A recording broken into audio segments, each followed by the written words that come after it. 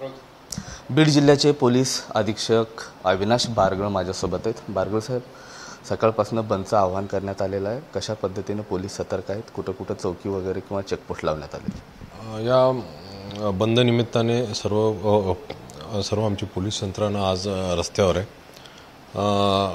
Police station wise नाकाबंदी point मुख्य चौकात पॉईंट मुख्य पुतळ्यांच्या ठिकाणी पॉईंट बाजारपेठेत बंदोबस्त हा सर्व नेमल्याला आलेलो आलेला आहे.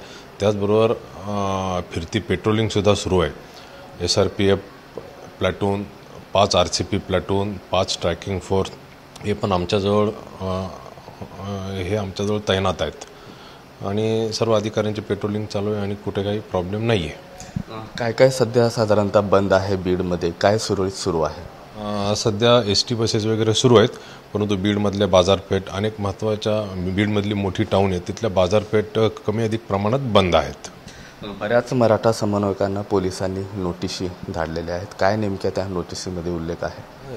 त्यामध्ये नोटिसीमध्ये एवढा उल्लेख आहे की कोणतेही समाज म्हणजे कायदा सुव्यवस्थेला कायदा सुव्यवस्था भंग होईल असे कोणतेही कृत्य करू नये. अशा पद्धतीने नोटिसा दिल्या गेल्या आहेत काही कार्यकर्त्यांची आम्ही काल बैठकी घेतली होती. त्यावेळी कार्यकर्त्यांनी सांगितले होते की आम्ही शांततापूर्ण वातावरणात जे काय असेल तो बंद करू.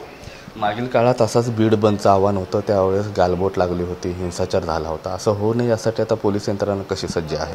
हे मी आत्ता ज्याप्रमाणे सांगितलं की आमचा संपूर्ण फोर्स आज बाहेरच आहे.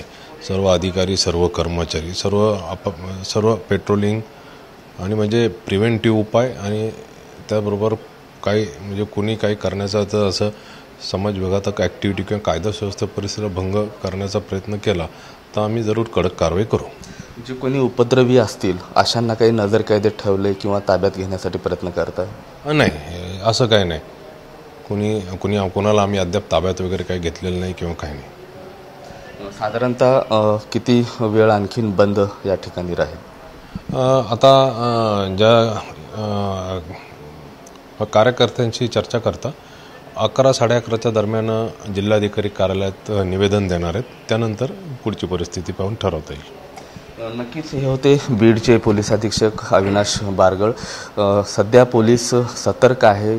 नाकेबंदी आहे चौकात चौकात जे पोस्ट आहेत ते लावण्यात आल्याचं ते सांगतात कुठलंही गालबोट सध्या तरी बीडमध्ये लागल्याचं पाहायला मिळत नाही जो कोणी असा प्रयत्न करेल त्याच्यावर कठोरातली कठोर कारवाई करण्यात येईल असा इशारा देखील पोलीस अधीक्षकांनी दिला आहे कॅमेरा पर्सन विकी चव्हाणसह मी Mahendrakumar Mudholkar T V nine Marathi Beed.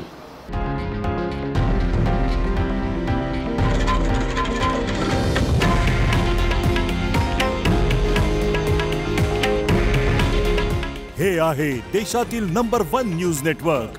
आणि आपण पाहत आहात टी व्ही नाईन मराठी. काळजी तुमची हित महाराष्ट्राचं.